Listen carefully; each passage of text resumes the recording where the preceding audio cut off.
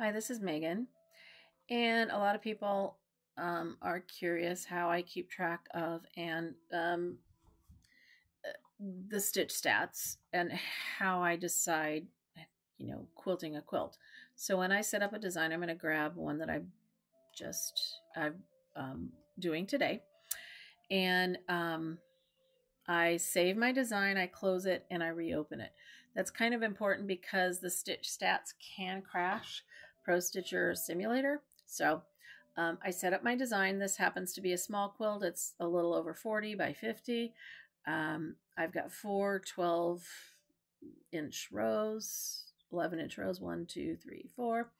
Um, it's about 12 and a half inches, I think. Anyway, um, once I've uh, done that, I'm going to go to my um, this little gear in the upper right corner. That's your settings and go to the word stitch stats, not the word advanced. So in stitch stats, this will um, do 37,948 stitches and it will take 44 minutes, 19 seconds, and it will have 31, um, 162 inches of thread. Now, I don't keep track of, I used to keep track of how this inches worked. I don't anymore. Um, I keep track of the stitches. I know in my machine with the way that I quilt that I can get about 50,000 stitches per bobbin of bottom line on my machine with the way I wind my bobbins with the way my tension is set. So I'm going to close that out. Um, this is dependent upon, um, oh, my stitches per inch. I run 12 stitches per inch, um, and that works great for me. Um, OptiStitch, I have set at about 25 five, and oh, actually, I've set it more like 75. Let's click 75 here, um, and about 25. That works really well for me. And so now when I hit the OptiStitch, it's 42 minutes 30 seconds. It will change depending on how you have these settings. Um, I write this down. I know after keeping track for nearly four years that it's pretty darn accurate. Um, I keep track of the stitch count on every single solitary quilt. Um, I can look at a quilt now and I can guesstimate how many stitches are on it just by the density and the kind of design it is. Um, if I am curious as to how dense it is, I've got an area set that's a 36 inch square and I will modify crop outside edges, um, baseline, and then I will go back and hit my stitch stats and see how many stitches are there per yard. And I will do that. Except sometimes if I don't close and reopen, stitch stats will crash my system.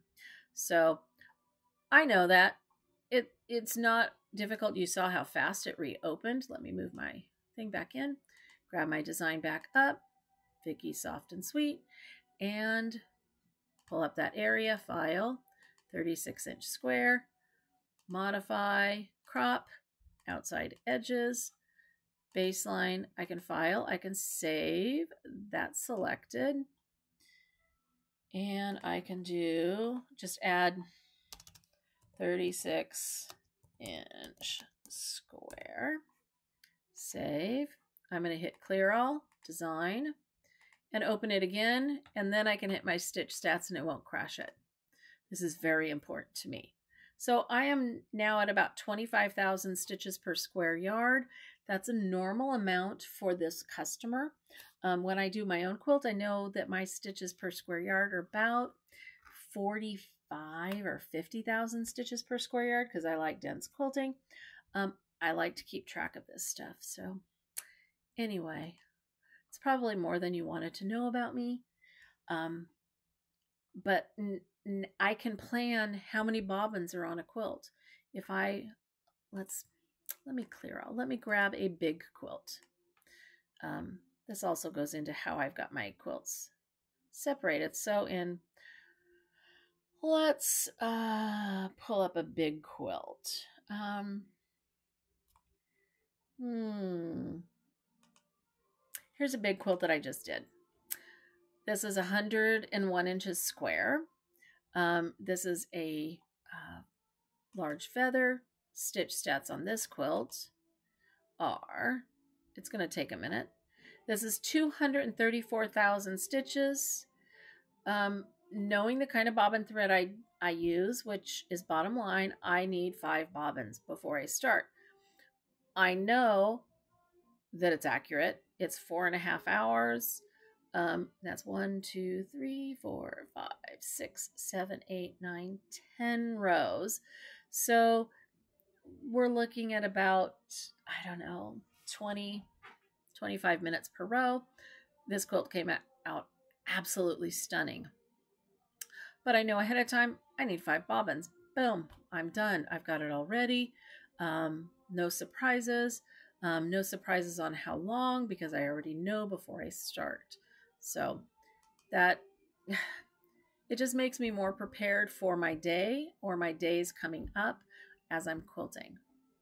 Anyway, there it is, the ins and outs of stitch stats.